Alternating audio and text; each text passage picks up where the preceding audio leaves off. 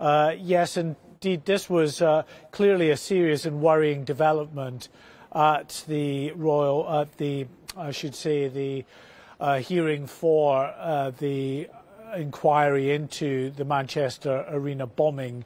Uh, the counsel for the inquiry said that uh, is Hashim Abedi, who is the older brother of Salman Abedi, the bomber, had fled the country, including uh, a friend of Salman Abedi, a childhood friend of Salman Abedi, uh, who also tried to flee the country uh, but was arrested on Monday.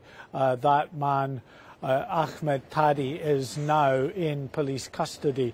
Now, Ismail Abedi had been uh, scheduled to give evidence this coming Thursday. He'd been served with a warrant uh, to give evidence. He had tried uh, to get out of that process because he had been seeking immunity from prosecution in case he incriminated himself on the stand. Well, the chairman to the inquiry, Sir John Saunders, uh, said that uh, that request would not be granted, that if he says something that incriminates him, then he will be potentially liable to prosecution.